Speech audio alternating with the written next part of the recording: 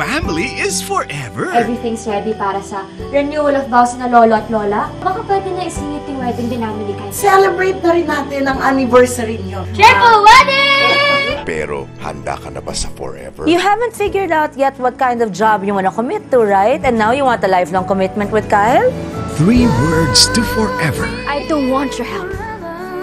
And I don't need you. November 28 in cinemas.